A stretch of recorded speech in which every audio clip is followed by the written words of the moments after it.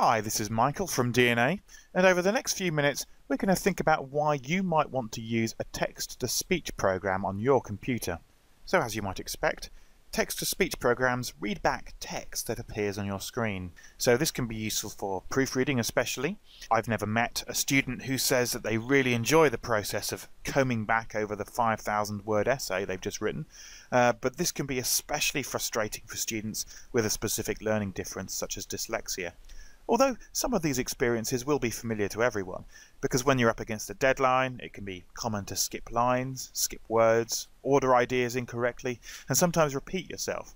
Now, if the text is being read back to you at an even pace, you can give your eyes a rest or follow along as the words are highlighted and get a much better sense of whether the document you've written is close to completion or not.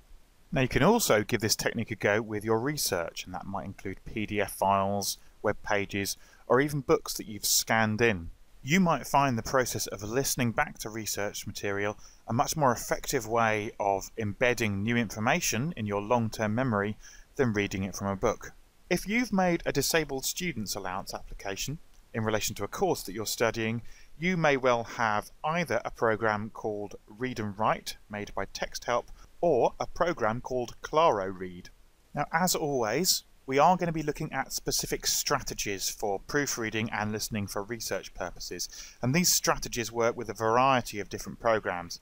So it's really worth highlighting the fact that with text-to-speech programs there are a number of open source or free options available as well.